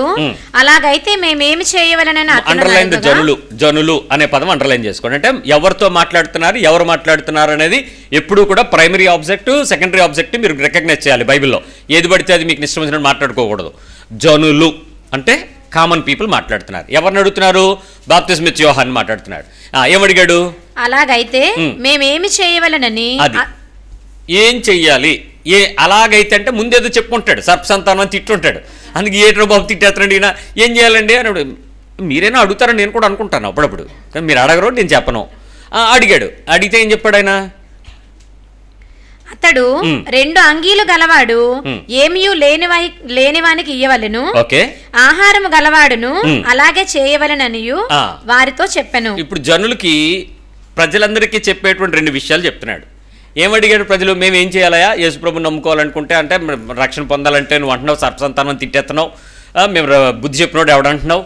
మేమేదో బాగుపడదాం మేమేదో దేవుడి రాజ్యంలోకి వెళ్దామని మేము నీ దగ్గరికి వచ్చాం. నువ్వేదో ప్రవక్తను నమ్ముతున్నావు నువ్వు గట్టిగా తిడుతున్నావు. సర్లే మాకు బుద్ధి రావాల్సిందేలే. సరే ఇంతకీ మేము ఏం చేసి సరి చేసుకోవాలి? అని అడిగితే ఆయన రెండు విషయాలు చెప్పాడు. ఫస్ట్ ఏంటి? ఆహారం. ఎవరికైనా రెండు బట్ట రెండు అంగీలు ఉంటే లేనోడికి ఒకటి వెళ్ళి ఇవ్వండి అన్నాడు. ఫుడ్ మీకు ఫుల్గా ఉంటే లేనోడికి తీసుకెళ్ళి ఇవ్వండి అన్నాడు. ఇవి పరలోకానివా భూ సంబంధమైనవా బట్ట తిండి దేనికి సంబంధించింది? యేసుప్రభు చెప్పిన మాట మీకు ఏమైనా గుర్తొచ్చిందా? ఏమి తిందుమా? తాగుదుమా? ధరించుకుందుమా? అని ఆహారం గురించి అయినను వస్త్రం గురించి అయినను ప్రాణం గురించి అది దేహం గురించి అయినను ప్రాణం గురించి అయినను మీరు ఈయనేం మాట్లాడుతున్నాడు? ఆయన మాట్లాడుతున్నాడు? ఈయన భూ సంబంధమైన మాట్లాడుతున్నాడు? ఆయన ఏం మాట్లాడుతున్నాడు? పర సంబంధమైన మాట్లాడుతాడు ఎవరి అధికారం వాళ్ళు చూడండి తెలిసిపోవాలి మీకు ఆ తేడా. ఇప్పుడు మీరు భూ సంబంధమైనటువంటి వ్యక్తులుగా ఉండాలి అనుకుని చాలామంది ఈ పనులే చేస్తున్నారు.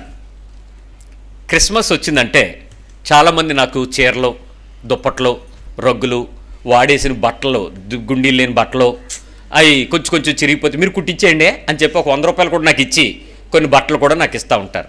మేము బొంతలు కుట్టించడానికి తప్ప ఎవడ వేసుకోడు. మరేం చెయ్యం? మా పల్లెటూరులో మాకు కావాల్సినవి అవే. సరే మీరు ఇచ్చారు మహాప్రసాదం దేవుని స్తోత్రం అని వాటితో పని చేస్తుంటాం ఈ తీసుకెళ్ళి మీరందరూ ఏమనుకుంటున్నారంటే ఈ టైంలో కాకపోతే ఇప్పుడు ఇస్తాం పాస్టర్ గారు అంటే అందరూ క్రిస్మస్ రోజే పట్టుకొచ్చి ఇచ్చేతే గొట్టలు గొట్టలు అయిపోతాయి. తీసుకోవడానికి వాళ్ళు కొనుక్కుంటారు కండి. ఉత్తప్పుడు ఎప్పుడైనా తెచ్చిస్తే బాగానే ఉండు. మీకు ఎందుకు గుర్తొచ్చేదల్లా ఇప్పుడు? యేసుబాబు పుట్టినప్పుడే. మరి అప్పుడే మీకు ఏమైనా స్పెషల్ లోన్ ఇస్తారో లీవ్ ఇస్తారో తెలియదు కానీ ఆ డబ్బులన్నీ మీకు అప్పుడే దొరుకుతాయేమో. అందరూ కుప్పలు కప్పలు అట్లా తెస్తారు సరే మీకు ఆ పోయే కాలం పోవట్లేదు మీకు. ఎంతసేపు భూ సంబంధమైన మనసుతోనే లేనోడికి ఇవ్వండి ఇదే కదా క్రైస్తవ్యం? కాదా? అడగండి ఎవరినైనా. ఇదే కదా. లాక్డౌన్ పీరియడ్లో అందరం ఏం చేసాం? రైల్వే స్టేషన్ దగ్గర ఆ రోడ్డు మీద నడిచి వెళ్ళిపోతున్న వాళ్ళ దగ్గర బిర్యానీ పొట్లాలు పులిహార పొట్లాలు సాంబార్ పొట్లాలు టిఫిన్లు అన్నీ పంచిపెట్టాం కదా. లేనోడికి ఇవ్వమనే కదా బైబిల్ చెప్పింది. భూ సంబంధమైన వాడి దగ్గర ఉండిపోతే ఇక్కడ అర్థమవుతుంది ఇక. మరి పరసంబంధమైన వాడు ఎప్పుడు అర్థమవుతాయి? ఇవి ఇవ్వడం కన్నే అవి లేనప్పుడు చింతించకుండా ఉండే జీవితం పరసంబంధమైన జీవితం. ఆ కలర్ ఎప్పటి నుంచో అనిపిస్తుందండి. మీషోలో కనపడింది అది బా! అనుకున్నావు నొక్కుతుండే అది అవ్వట్లేదు. టక్కి టక్ టక్ టక్ నొక్కుతున్నావు. అది అసలు కిక్కి కిక్కి మంటలేదు హ్యాంగ్ అయిందో తెలియదు అక్కడ లేదో తెలియదు అది అయిపోయిందో లేదో తెలియదు టెన్షన్ ఉంటుంది ప్రియులరా పర్లోకం టెన్షను. ఫోన్ చితకొట్టేద్దాం అనిపించదు ఇంట్లో ఎన్ని ఫోన్లు ఉంటే అన్ని ఫోన్లో ఏ యాప్ డౌన్లోడ్ చేసి దాన్ని ఎతికేసి ఆ కలర్ ఇది ఆ కలర్ ఇది ఆ కలర్ రెండు రోజులు మనిషి అవుతావా? ప్రాణం పోద్ది కదా. మనసంతా ఏదో పోయింది దిగులు. ఏది? నిత్యరాజ్యం పోయినట్టు. ఏంటండి? ఎవరికి అవలా ఇలాంటివి నా కళ్ళకే కనపడతాయి ఇలాంటివన్నీ ఏం తల్లి దిగులుగా ఉన్నావని అంటే ఏడ్చేకే తల్లి ఇప్పుడు నేనే చేశాను అనుకుంటారు ఆగమ్మ అప్పుడు వాళ్ళ అమ్మ వచ్చి ఏంటండి నేను నుంచి ఆ ఫోన్ నొక్కుతుంది అది వెళ్ళటం లేదండి. ఆవిడ ఎడుతుంది నా ఫోన్లో నొక్కనా? వద్దు మెసేజ్లో చెప్పేస్తారు. అది చెప్పాను కదా మరి. ప్రతి ఇంట్లో బాగోతానికి మెసేజ్ అవసరమా? రోజు ఏడిసేది ఇంట్లో గోలిదే కదా? హ? చూడండి అక్కడ ఏం చెప్తున్నాడు? లేనోడికి ఇండి అన్నాడు. భూ సంబంధమైన వ్యక్తి. అంతకంటే ఏం చెప్తాడు? నెక్స్ట్ ఇంకొకళ్ళు అడిగారండి సుంకర్లు. సుంకరులు. సుంకరులు సుంకర్లు అంటే ట్యాక్స్ కలెక్టర్స్ అనమాట వాళ్ళు వచ్చి ఏమడిగారు? బోధకుడా. మేమేమి చేయవలని అతను వాళ్ళు కూడా అడగగా, కన్సిడర్ చేస్తున్నారు. John the Baptist is also one of the godly saint person అని చెప్పి నమ్ముతున్నారు. ఏం చేయాలని అడిగారు. అతడు. మీకు నిర్ణయింపబడిన దానికంటే. ఎక్కువ తీసుకుని వద్దని వారితో ఏమైతే డిసైడ్ చేసిందో అంతకు మించి ఎక్కువ తీసుకోవద్దు. ఎవరిని కూడా బాధ పెట్టద్దు అని చెప్పాడండి. ఇంకేమి ఎవరిని ఎక్కువ తీసుకోవద్దు అని చెప్పేశాడు. అంతే అంతవరకే. నిర్ణయించబడిన దానికంటే ఎక్కువ తీసుకోవద్దని సుంకర్లకు చెప్పేశాడు ఏమండి? అసలు డబ్బుల గురించి ప్రార్థన చేయమని ఎక్కడైనా యేసుప్రభు చెప్పాడా? మాట్లాడరా? లేదు. ధనాన్ని నమ్మద్దనే విషయం మనకు చెప్పాడు. అది ఆశ్రయాస్పదమే కానీ దాని మీద విపరీతమైన ప్రేమ పెంచుకోవద్దని చెప్పాడు. దానిని భూమి మీద ధనవంతులుగా ఉండటే పరలోక రాజ్యానికి వెళ్ళరు అని చెప్పాడు. ఇప్పుడు ఆయన దేని గురించి చెప్తున్నాడు? ఈయన దేని గురించి చెప్తున్నాడు? అకౌంట్స్ నెక్స్ట్ ఇంకొకటి చెప్తాడు. సైనికులు ఏమడిగారు అడిగారు? మేమేమి చేయవలని అతన్ని అడిగిరి? వీళ్ళు కూడా ఫాలో అవుతున్నారండి కొంతమంది ఆర్మీ వీళ్ళు వచ్చి మేమేం చేయాలి బాబు? జాన్ గారు చెప్పండి అన్నారు. అందుకు అతడు. ఎవరిని బాధ పెట్టకయు? చాలా జాగ్రత్త చెప్పాడు. ఎవరిని బాధ పెట్టకండి. ఎవరి మీదను అపనింద వేయకయు? లేనిపోని చెప్పకండి. మీ జీతములతో తృప్తి పొంది ఉండుడని మరొకడు దోపిడీ చేయకుండా మీకు ఎంత వస్తే దాంతో సాటిస్ఫాక్టరీగా ఉండండి అని చెప్పాడు. ఈ అక్కడవా? ఇక్కడవా? ఎక్కడ సంబంధించిన ఈ మూడు మాటలు? భూ సంబంధమైన సంబంధం. కింద నుంచి వచ్చిన వాడు కింద చెప్తాడు పైనుంచి వచ్చినవాడు పరమ సంబంధమైన విషయాలు చెప్తాడు. యేసు నీకు చింతించకుండా దేవుని దగ్గర ఉండడానికి కావలసిన అవకాశాలను చూపించి మిమ్మల్ని వాటి వైపు చూపాలని కోరుకుంటే మీరు వారి వైపు యేసు వైపు చూచి నిత్యత్వం పొందుకోవాలని దేవుడు మీ నుంచి ఎదురు చూస్తున్నాడనే విషయం మీకు అర్థమవుతే ఈ చింతించాల్సినటువంటి ఈ భూ సంబంధమైన విషయాల మీద లేకుండా బతకడానికి ఇష్టపడతారు. ఈ మూడు సంఘటనలు కలిపి నేను మీతో ఇంకొకటి ఉన్నాడు. పరిశీలు సర్దుకాయలు వచ్చారు అడిగారు. మేమేం చేయాలి బోధకుడు అని అడిగారు. అప్పుడు ఏం చెప్పాడు చెప్పండి? మారు మనసుకు తగిన ఫలాలు ఫలించండి అని చెప్పాడు. ఒకవేళ ఆ ఫలాలు పరిశైలు సర్దుకేలు పరిశీలు మళ్ళీ తర్వాత కొంచెం రెండు వచనాలు దాటితే ఉంటుంది. ఏం చెప్పాడు వాళ్ళకి? మారు మనసుకు తగిన ఫలాలు ఫలించండి. ఒకవేళ మీరు సరిగ్గా ఫలించకపోతే గొడ్డని చెట్టు వేరు నాట పెట్టుంది. ఎప్పుడైనా మిమ్మల్ని నరికేస్తారు జాగ్రత్త అని చెప్పాడండి. ఒక్కసారి మీరు నేను మొత్తం కలిపి చెప్తున్నాను వినండి. భూ సంబంధమైనటువంటి వ్యక్తులుగా మన మన Christian community total settled life కావాలి అనుకుంటే ఇదిగో ఇక్కడ ఉండాలి. ఈ నాలుగు వచనాల్లో ఉండాలి. ఎవరెవరి మధ్యలో జనులకు వలె మన దగ్గర ఉంటే ఎవరికైనా పేదోడికి సహాయం చేయాలి. ఇది మనందరికీ క్రైస్తవ పిలుపు. నెంబర్ టూ ఎప్పుడైతే ఏదైనా ఉంటే ఎక్కువ లాభం లేకుండా ఎక్కువ లాభం వేసేసుకోకుండా నిర్ణయించబడిన దాంతో చాలా జాగ్రత్తగా చక్కగా వ్యాపారము వ్యవహారము చేసుకోవాలి. సో దట్ అందరూ కంఫర్ట్గా హ్యాపీగా ఉంటాము. మూడవది ఎవరిని బాధ పెట్టకూడదు ఎవరి మీద నిందలేయకూడదు ఎవరి చేత మనం నిందించబడకూడదు. మనం ప్రతి ఒక్కడు ఏదైతే పొందుతుందో దాంతో తృప్తిగా ఉంటే మనకు చాలు. నాలుగవది ఏ విషయంలోనైనా మారు మనసుకు తగ్గ ఫలాలు ఫలించుకుంటూ భూమి మీద హ్యాపీగా బతికేస్తే చాలు. ఇదే కదా క్రిస్టియన్ లైఫ్ స్ట్రక్చర్ ఇప్పుడు? ఇదే కదా అందరూ కోరుకుంటున్నారు. ఈ ఈ భక్తే కదా మనం చేస్తున్నాం. మరి యేసుప్రభు చెప్పిన భక్తి ఎందుకు చేయట్లేదు? పరసంబంధమైన వ్యక్తి మీద మీకు నమ్మకం ఎందుకు కలగట్లేదు? గురి ఎందుకు కలగట్లేదు? ఆయన మీద మీరు ఎందుకు ఆ పూర్తి స్థాయి విశ్వాసాన్ని ధైర్యంగా ఎందుకు వేయలేకపోతున్నారు? భరోసాని దట్ ఈస్ ద ప్రాబ్లం ఈరోజు మీరు చింతించకుండా ఉండలేకపోవటానికి ఆయన మీద పూర్తి విశ్వాసం ఉంచలేకపోవటానికి కారణం మీరు ఆయనను వెతకకపోవటం. యేసుప్రభు తెలియదేటండి భాష గారు? బ్రహ్మాండం తెలుసు. ఎందుకు తెలియదు యేసుబాబు పుట్టిన ఇరవై ఐదు తారీఖునే డిబేట్ పెట్టమని అందరూ మాట్లాడతారు రకరకాల రూల్స్ వచ్చి. కాదు అది కాదు ప్రభు కోరుకుంటున్నాడు. ఇప్పుడు చెప్తాను మీరు పరలోకి వెళ్ళటానికి పూర్తి స్థాయిలో ఏ రకంగా దాని వైపు ఉంటుందో ఒకసారి చెప్తాను చూడండి. మత్తెసు వార్త మూడో అధ్యాయం పన్నెండో వచ్చిన మ్యాచ్ త్రీ వస్ ట్వెల్వ్. ఆయన చే బాప్తిస్మిత్ యోహాన్ చెప్పాడుండో ఈ మాట కూడా? ఆయన చేట ఆయన చేతిలో ఆయన చేతిలో ఉన్నది. చేట ఉందంట. ఆయన చేట నీ చేతగా నీ నీ నీవు దో- ఎదు చెరిగే చేట కాదు. ఆయన చేట ఆయన చేతిలో ఉంది. ఆయన కళ్ళములు? బాగుగా శుభ్రము చేసి వా ఎలాగమ్మా? బాగుగా. ఆ పదం బాగా నొప్పి పుడుతుంది. మామూలుగా చేయడంట. ఎలా చేస్తాడు? బాగుగా బాగా శుభ్రం చేస్తాడంట. ఆయన చేస్తే శుభ్రం ఎలా ఉంటుంది తెలుసా?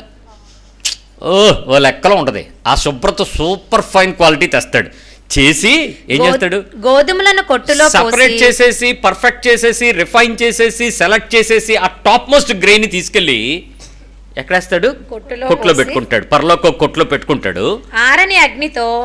పొట్టును కాల్చివేయనని పొట్టు. పొల్లు ఆ సత్తు గింజలు ఉన్నాయి చూసారా? ఆ తాళ్ళు గింజలు ఉన్నాయి చూసారా? వాటన్నిటి తీసుకెళ్ళి ఏం చేస్తాడు?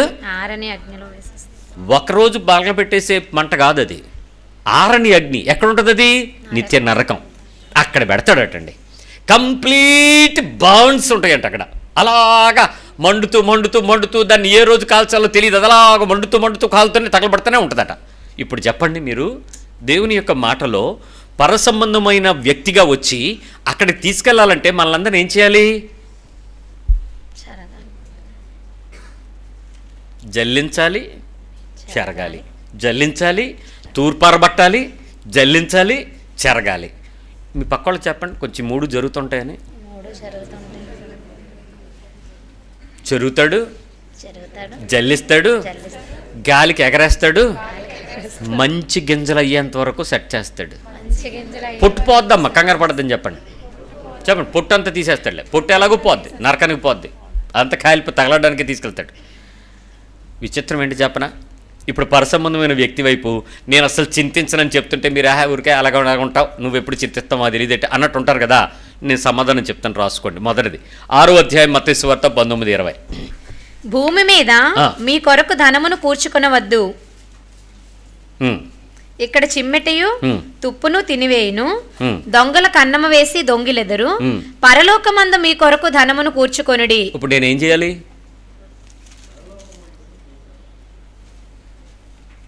ఏం చేయాలి?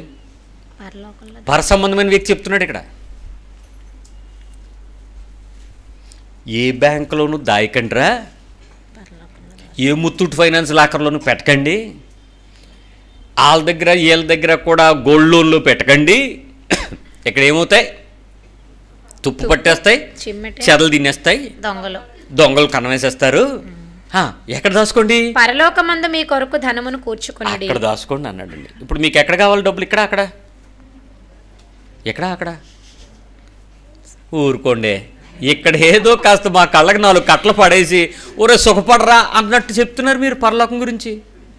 ఎక్కడైపోద్ది అది అసలు ఎవడైనా చూసొస్తే కదా. నేను అదేగా చెప్తున్నాను. అక్కడ చూసొచ్చిన వ్యక్తి చెప్తుంటే నమ్మట్లేదు మీరు. ఆయన బట్టే ధీమా ఉండొచ్చని. ఆయన బట్టి మీరు చింతించకుండా ఉండొచ్చు అని చెప్తున్నాను. నా బాధ అంతా అదే. ఆయన్ని ఎరగండి ఇంకా చెప్తున్నాను నేను. మీకు యేసు ప్రభు తెలుసు అంటున్నారు క్రైస్తవ్యం తెలుసు అంటున్నారు మా తాతక ముత్తాతలు క్రైస్తవులు అంటున్నారు. అది ఎవరికి కావాలి? యేసుని అనుభవించకుండా యేసుని ప్రత్యక్షంగా తెలుసుకోకుండా యేసు వైపు మీ కన్నులెత్తి చూడని మీ బ్రతుకులో భూ సంబంధమైన వాటి కొరకు ప్రార్థన చేసి సమాధానం ఇచ్చాడని చెప్తారేంటి? ఆయన ఇచ్చేది అక్కడది ఇక్కడే కాదు. అటువైపు చూడమని కదా చెప్తున్నాడు. ఇప్పుడు చెప్పండి మీరు ఏం చెప్తారు? భూమి మీద ఏం కూర్చుకోవద్దు? నిజంగా చెప్పండి. ఆ సౌలి కొనుక్కున్న రోజు నీకున్న ఆనందం ఆ దిద్దులు పెట్టుకుని అద్దం ముందుకు వెళ్ళినప్పుడు మీ పక్కింటి వాళ్ళు అంటంటే ఆ స్పార్కే వేరు మీ ముఖంలో. ఎర్రగా అయిపోయి ఎంత హాయిగా నిద్రపోతావంటే దానికి నిద్రలేని రాత్రి. మీరు గురకలతో నిద్రపోతున్న పగలు. ఏంటి సమస్య? అంటున్నాడు ఇలా మాట్లాడితే. ఏమైందిరా అని చూస్తే ఇక్కడ దొంది ఇక్కడ దొంది ఆ రెండు చూపించాలి ఇలాగ అంటుంటా రోజులు బాగలేదు. రోడ్డు మీద వెళ్తుంటే వెళ్తున్నట్టు నీకు తెలియకుండా స్పాట్లు వేసిపెడుతున్నారు చెవులు కోసుకెళ్ళిపోయాడట నవ్వుతాడు ఎత్తు బలి గులుసులెట్టింది కింద లోలకలు దాసింది మొత్తం కోసాడు ట్రైన్లో. ఇలా ఎడుతుంది ఏం ఎడుతున్నావు అండి చెవుల్లో? బంగారం లేదు. జాగ్రత్త. అమ్ము అని తీసి జోబులు ఎడుతున్నాడు. అయినా ప్రమాదమే. అక్కడ దాచుకో. అక్కడ దాచుకో. మొదటి దేశప్రభు ఏం చెప్పాడు? అక్కడ దాచుకో. రెండు. ఏమండి? ఎంత సంతోషంగా ఉన్నారంటే చాలామంది. ఏమండి? కట్టలేకపోతే కట్టలేకపోయినా అప్పు సొప్పు ఏం చేసి కట్టాలండి. డబుల్ బెడ్రూమ్ ఇస్తున్నాడండి జగనన్న. ఈ దూరం అయితే అయిందండి దబ్బంగి. వెళ్ళిపోతాం అంతే. అల్లా కోసాన్ని ఇచ్చాడు. అయినా వెళ్ళిపోతామండి. ఎందుకంటే టైల్స్ వేసారండి. కాలనీ లాగా ఉందండి. సూపర్గా ఉందండి. యోహన్ సోర్త పద్నాలుగు వచ్చాయండి నా తండ్రి టూ త్రీ వర్స్ నా తండ్రి ఇంట అనేక నివాసములు కలవు. ఎక్కడ? బాంబే కాలనీలోనా? జేఎన్ఎంఆర్ ఇళ్ళలోనా? నా తండ్రి ఇంట అనేక ఆ, నివాసములు కలవు. ఈయన అక్కడి నుంచి వచ్చాడు కాబట్టి ఎక్కడ చెప్తాడు మరి? మా ఇంటి పక్కన రియల్ ఎస్టేట్ వ్యాపారం వేస్తున్నాం మా పాస్టర్ గారే కట్టేస్తున్నారు. ఈ బ్రోకర్లు అయిపోయారు ఈ పాస్టర్లు ఈ మధ్య. రియల్ ఎస్టేట్ బ్రోకర్లు అయిపోయారు. సైట్లు అమ్మడం సైట్లు కొనడం వీళ్ళకి డెవలప్మెంట్లు చేయటం. ఈ బ్రోకర్ పని ఎప్పుడు పట్టుకున్నారు వీళ్ళు? పరలోకంలో ఏమున్నాయి? అనేక అనేకమైన నివాసాలు ఉన్నాయి. లేని ఎడల మీతో అమ్మ చెప్పుదును. అమ్మ లేకపోతే చెప్తాను నాన్న నేను. నేను చెప్పలేనోడిని కాదు చెప్తాను మీకు. మీకు స్థలము సిద్ధపరచ వెళ్ళుచున్నాను. మీకు తెలుసా? నేను ఎందుకు వెళ్తున్నానో? మీకు ప్లేస్ పెడతాను. ఆ ప్లేస్ మీకోసం దింపిసో చేస్తాను ఎవ్వడో వచ్చి పక్కన రాయి తీసి అవతల మార్చలేడు తెలుసా? ఆ లోకంలో ఈ లోకంలో సరిహద్దు రాళ్ళు మార్చే వాళ్ళు ఉన్నారు కదా అక్కడ ఉండరు. ఒక ప్లాట్ నలుగురు క్రిస్టియన్ చేసేస్తారు ఇక్కడ బ్రోకర్లు. అక్కడ అలాంటిది ఏముండదు నీవు నీకే. నువ్వు భూమి మీద పడ్డ ప్రతి శ్రమకు తగిన ప్రతిఫలానికి తగినట్లుగా నీ ప్లాట్ నేను జాగ్రత్త పెడతాను. నువ్వు నా దగ్గరికి వస్తావు మన ఇద్దరం ఉంటాం. ఆ ఇల్లు నీకుంటుంది ఆ స్థలం నీకుంటుంది ఆ గదులు పర్ఫెక్ట్గా ఉంటాయి ఎలా ఉంటుంది తెలుసా ఆ ప్రదేశంలో? నిత్యానందం ఉంటుంది ఏడుపు ఉండదు అప్పులు ఉండవు నొప్పులు ఉండవు జబ్బులు ఉండవు పక్కింటోడితో గొడవ ఉండదు నీ క్రెడిట్ కార్డు గోడ ఉండదు నీకు ఆధార్ కార్డులో పేరున్నా లేకపోతే నీకు బాధ లేదండి. నీకు అసలు ఆ ప్రదేశంలోకి వెళ్ళటానికి ఏదది? ఆరోగ్యశ్రీ కార్డు అక్కర్లే. ఫుల్ ఇన్సూరెన్సే నీకు అసలు జబ్బు ఉంటే కదా ఏదైనా కార్డు రావడానికి. ఏ ప్రాబ్లం లేని ప్లేసు నా దగ్గర ఉన్నాయి స్థలం. నీకు ఇస్తానన్నాడు ఎవరు అర్థమవుతుందా? ఎవరు? హా ఆయన తెలిస్తే నీకు ఎలాగుంటుందండి అసలు? మూడో విషయం చెప్తాను చూడు. పంతొమ్మిదో అధ్యాయం మతేసు వార్త ఇరవై ఏడు.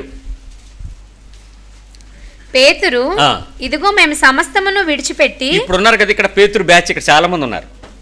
ఏట్ పాస్ట్ గారు మీ దగ్గరికి వచ్చాక అప్ చేయడం మానేసాం చివాట్లండి బాబు తెగదిట్టేస్తున్నారు రోడ్డు మీద మనుషులు మాట్లాడేస్తున్నారు. అవమానకరమైన మాటలు. లజ్జల లజ్జ తీసేస్తున్నారు అసలు. ఇంట్లో అన్నం తినే ముందు వచ్చి తిట్టేస్తున్నారండి. ఏ మీ దగ్గర రాకుండా ఉంటే కనీసం అప్పు చేసినా ధైర్యంగా బతికేవాళ్ళు. "ఆ, తెత్తాలి అలవా అని నోరు మూసి నిలబడాడు ఇప్పుడు భయం వేసిపోతుందో? అప్పు చేయడానికి లేదు. ముందురు కాళ్ళు కట్టేసావు చేతులు కట్టేసావు నోటికి ప్లాస్టర్ వేసావు అప్పు చేయకుండా ఉంటే తిట్లు సీవాట్లు. ఏ రోజు కూడా సుఖం లేదు. దొంగతనంగా ఉండాల్సి వస్తుంది. ఏటండి బాబు మీరేమో ఇలా చెప్పారు మాకు బైబిల్ పెట్టి. ఇలాగ అయిపోయామండి నిజమే. నువ్వు చాలా బాధపడుతున్నావు అమ్మ. నీ కన్నీళ్ళు తెలిసే దూరం ఒక రోజు ఉంది కంగారు పడకు. వాస్తవం చెప్తున్నా నేను. ఈ పేతురు బ్యాచ్ అందరూ ఏమంటున్నాడు తెలుసా? యేసుప్రభు కోసం మేము అప్పు చేయడం మానేసామట వీళ్ళు యేసుప్రభు కోసం అప్పు పుట్టక మానేసావు పిచ్చోడా. నీకు అప్పు పుట్టిచ్చే పరిస్థితి ఉంటే కనుక నువ్వు ఎలాగుంటావు చెప్పు. పది రూపాయలకి వెనకడతావా? నీ పిల్లోడు బర్త్డే చేయడానికి పది రూపాయలు వడ్డీ తేవడం మానేస్తావా? ఆడికి డైపర్ మార్చుకోవడం వాడికి చేత కాదు. ఆడి బర్త్డేకి నువ్వు పది రూపాయలు వడ్డీకి తెచ్చి చేస్తావు తీసుకెళ్ళి. ఫంక్షన్ హాల్లో. చేయకపోతే బాగోదంట. బాగోదు. ఎవడికి బాగోదు? ఆడికే? తిని వెళ్ళిపోయేవాడికే. ఓ అనుకుని వెళ్తాడు లాస్ట్లో. ఎవడికి బాగోదు? అప్పులైపోయింది ఎవడు? నువ్వు ఈరోజు ఎవడన్నా వచ్చి తీరుస్తాడా రేపు? సిగ్గుమాలిన సంగతులు. ఇంక ఇంకా అన్ని చోట్ల చేతులేసి ఎక్కడ చూసినా సరే నీ సిబిల్ స్కోరు దాటిపోయి ఎవడు నీకు ఇవ్వక ఇంకెలా పడున్నావు? దానికి ఏమి యేసుబాబు కోసం పేతురు చెప్పినట్టు చెప్తున్నాడు ఒక్కొక్కడు. యేసు ప్రభు కోసం మేము అన్నీ మానేసామండి మాకు ఏడు దొరుకుతుందండి అన్నాడు పేతురు. అప్పుడు ఏమన్నాడు ఆయన? అందుకు యేసు. వారితో ఇట్లా నేను ప్రపంచ పునర్జననమందు ఉమ్. మనుష్య కుమారుడు తన మహిమగల సింహాసనము మీద ఆసీనుడై ఉండునప్పుడు.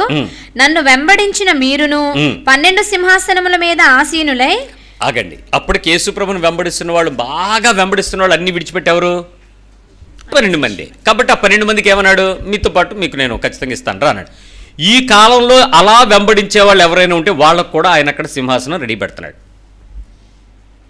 ఎవరైనా సరే యేసుప్రభు కోసం నిందలను కానీ అవమానాలను కానీ భరించి సహించి క్షమించి ప్రేమించి ఎట్టి పరిస్థితుల్లో చెప్పినట్టు ఎలాగైనా మీరు చేయండి. దానికోసం మీకు సింహాసనం గ్యారంటీ. అక్కడ ఉంచుతానన్నాడు ఓకే. ఇక్కడ చూడండి. ఆ, తర్వాత ఏమన్నాడు? నా నామము నిమిత్తము అన్నదమ్ములనైనను. అక్క చెల్లెలనైనను. తల్లిదండ్రులనైనను. పిల్లలనైనను. భూములనైనను ఇండ్లనైనను విడిచిపెట్టిన ప్రతివాడును. నూరు రెట్లు పొందును. ఎవడ ఉన్నాడంటవా అక్క? సొల్లు కబుర్లు క్రైస్తవ్యంలో పాటలు పాడేస్తుంటారు అంతాను. ఏమున్నా ప్రభువా అట. నిజంగా చెప్పండి.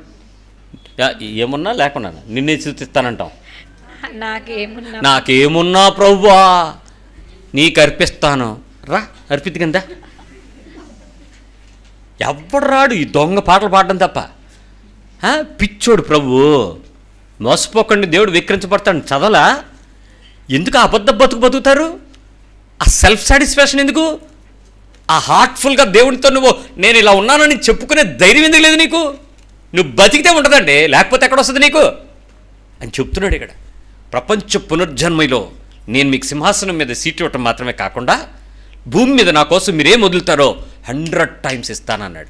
ఇప్పుడు నేను సింపుల్ లాజిక్ చెప్తాను బాధపడకండి దుఃఖపడుతూనే వెళ్తారు కానీ బాధపడకండి ముందే చెప్తున్నాను. ఏమీ లేకపోతే ఎన్ని రొట్టెలు వస్తుందండి? చెప్పమ్మా. నూరు రెట్లు. వంద అన్న ఒకసారి తృప్తిగా ఉంటుంది. వంద. ఒకటి ఉంటే పోయినట్టేనా లేనట్ట? ఏమీ లేకపోతే ఏమొస్తాయి? మళ్ళీ చెప్పండి. ఏమీ లేకపోతే వస్తాయా? ఒకటున్నా వస్తుందా ఇప్పుడు ప్రాబిలిటీ లెక్కల మాస్టర్ ఒకడు వస్తాడు ఇక్కడ. మాస్టారు మీరు అలా అలా చెప్తున్నారు. ఏమీ లేకపోతే వంద. ఆ, ఒకటి ఉందనుకోండి తొంభై ఆరు. నీ లెక్కలు పరలోకానికి సరిపోవు నాయన. నీ ఆల్జీబ్రా నీ స్టాటిస్టిక్స్ అక్కడికి పనికిరాదు. మూసుకొని కూర్చో. ఏది లేదని ఏడుస్తున్నావో వంద రెట్లు నీకు దొరుకుతుంది ఏది వదిలేవో వంద రెట్లు. ఏదైనా వదిలితే కదా ఫినాయిల్ కూడా వదలట్లేదు. ప్రీ అంటే లైన్లో నిలబడిపోయి మాస్కులు దుబ్బేసుకున్నట్టు లాగేసుకుని. రైతు బజార్లో నేను కవర్లు ఎత్తున్నారంట కొట్టేసుకున్నారు. నేను ఎందుకు తోసుకుంటున్నారని చెప్పండి కవర్లు ఎత్తున్నారండి. అవ్వా. ఆ కవర్లో సరిగ్గా కేజీ రెండు ఉల్లి- రెండు కేజీలు ఉల్లిపాయలు అయ్యి దడేలు కింద పడిపోతాయి అన్నీ. ఇప్పుడు కొట్టు కొట్టం ఎందుకు ఫ్రీ? ఏది ఫ్రీ వదలవు? మరి ప్రభు ఎలా వదులుతాడు నీకు? చాలా కష్టమే. మూడోది ఏంటో తెలుసా? వంద రెట్లు కాకుండా నిత్య జీవం కూడా నీకు ఇస్తానన్నాడు.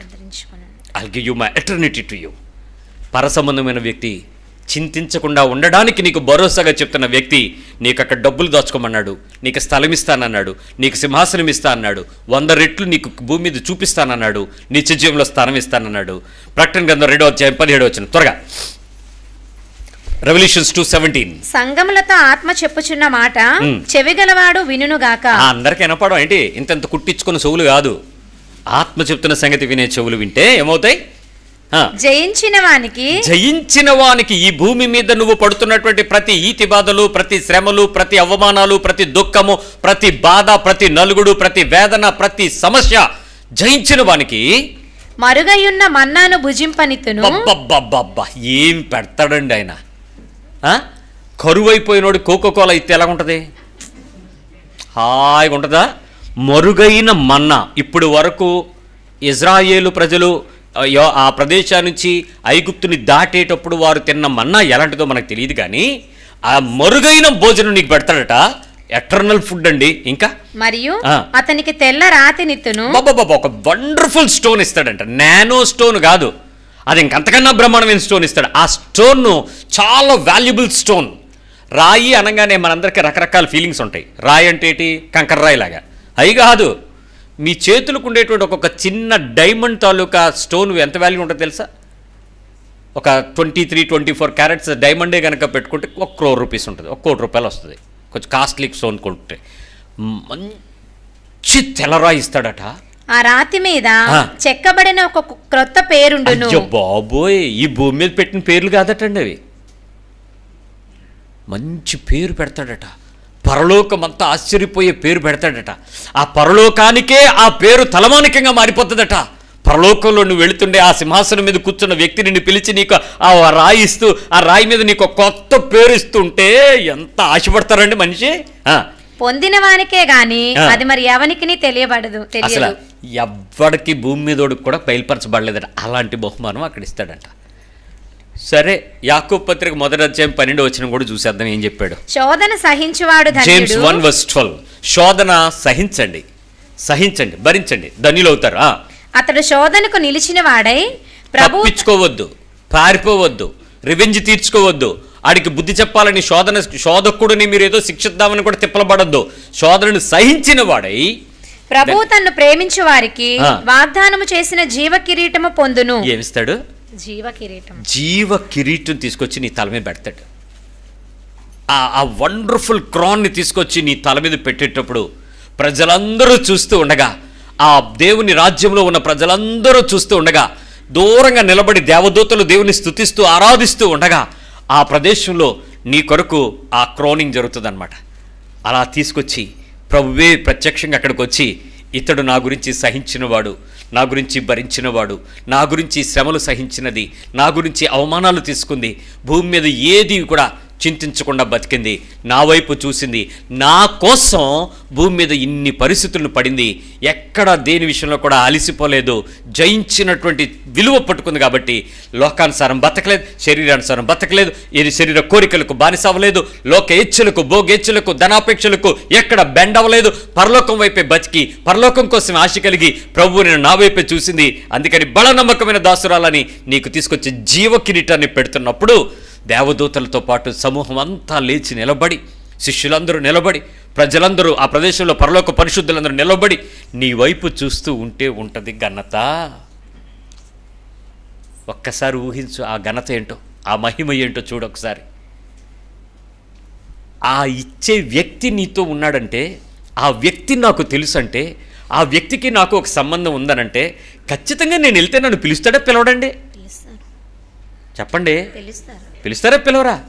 ఎక్కడో మారుమూల ప్రదేశంలోకి నేను వెళ్తే ఆ కలకట్టా ఎయిర్పోర్ట్లో అంత బెంగాలీ మాట్లాడుతున్నాడు. ఎవడో హిందీ మాట్లాడుకోడు. సరిగ్గా ఎయిర్పోర్ట్లోకి ఇలా నిలబడగానే సిఎస్ఎఫ్ వాళ్ళు ఆలివ్ గ్రీన్ గారు అన్నాడు. టక్కని జల్లు మంది. నా టికెట్ మీద ఆలివ్ గ్రీన్ అని పేరు ఉండదు.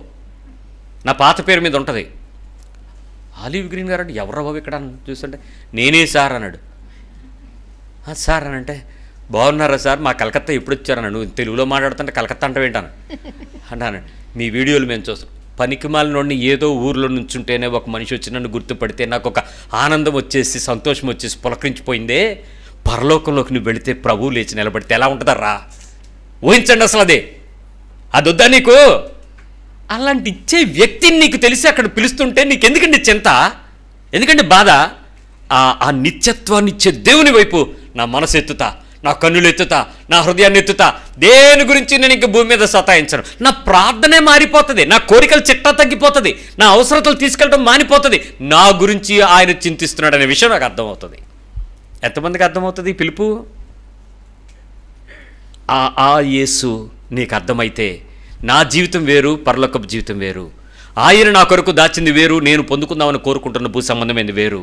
ఇవన్నీ నాకు అక్కర్లేదు కానీ నాకు ఆయన ఇస్తాడు కాబట్టి ఆయన నాకు తెలుసు కాబట్టి ఆయన కోసం బతికేస్తా. ఆనందంగా ఉంటాను. ఇంకెప్పుడూ చింతించను. అప్పుడు మీరు ఒక మార్క్ వేసుకోండి. అమ్మయ్యా నా ఆయాసం తీరింది. ఆ యేసు నాకున్నాడు నీకున్నాడా? ప్రార్థన చేద్దాం. ప్రభా యేసు